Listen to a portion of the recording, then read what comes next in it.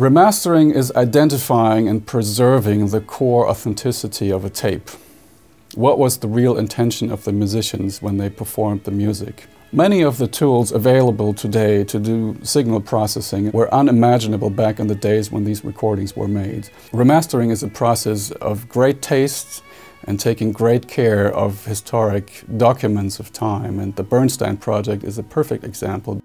We divide the remastering process in uh, three components. We have a horizontal component, which is um, connected to the timeline of the pieces.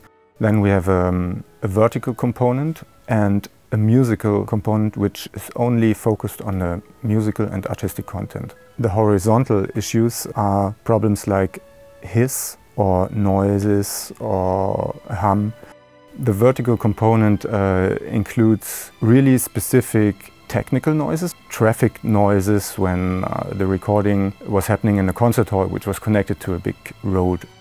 It's a really close, really close and clear sound which they wanted to create back then, which is quite modern. We wanted to make sure that the new remastering really increases the quality of the recordings. So we went back to the original three or four track or even multi-track tapes which uh, enabled us to go much deeper into the material. Sometimes we had five, six, seven different tapes actually for one CD. So all tape transfers have been made at 192 kilohertz at 24 bit. So we were able to keep the higher frequencies and, and work on very high quality material. What you can see here is the frequency um, spectrum of, of the recording. You can see that there are the, the partial tones, they are going up until mostly like 12K. If we switch to the analog tapes we receive now in this high resolution, uh, is that the partial tones are going up in a much higher frequency range here, like 18 or 19 or up to 20 kHz. Here we have, as an example, Bernstein's recording of uh, Liszt's Faust Symphony.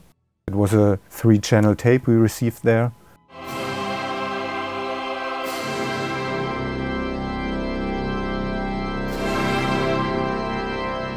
The organ is totally out of tune compared to the orchestra. Today we have uh, the tools and the techniques to do a pitch like this really easily without any artifacts like this.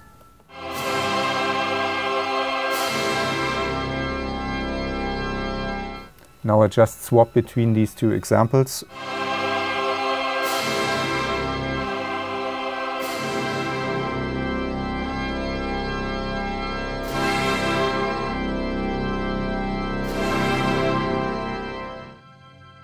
For us, remastering from the Sony archives is actually a big thrill. It's both a challenge and it's a privilege.